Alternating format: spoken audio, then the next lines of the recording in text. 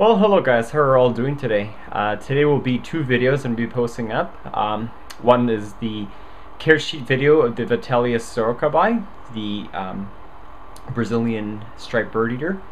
And this one right here. I just got an email from Tarantula Canada. It's uh, about the egg sacs that I got from uh, Pete Pulcher and Avik Avik.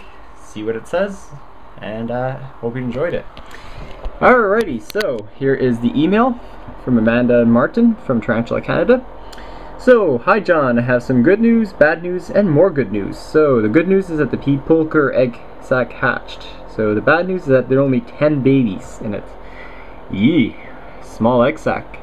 So we went ahead and separated them, and so you can pick up your half when you're ready. So that's going to be five babies I'm going to get.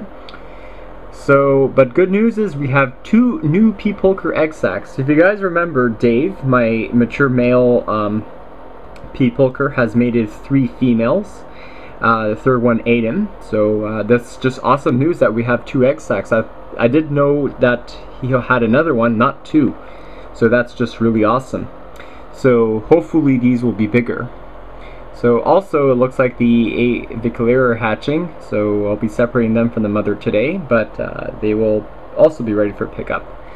So that's going to be awesome. So I really don't know how many Avic Avik sacs, well the slings I'm going to get. I'm probably assuming maybe 20 or 30, I don't know. So uh, I'm probably not going to take all of them because you know me, I'm not that great at Avics, so that's gonna be awesome. But apparently, when I called them up about the babies, apparently they're really big babies. So uh, when I go to Tarantula Canada, of course, I'm gonna film it for you guys.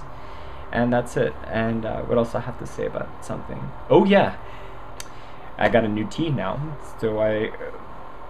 I was contemplating on replacing Autumn, my Reversopelma petersi.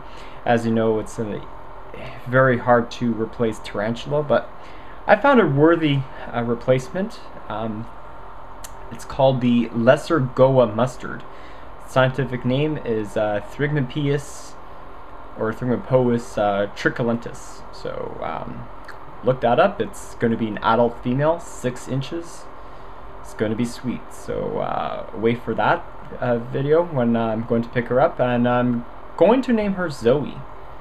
I think that's a pretty uh, cool name for such a spider.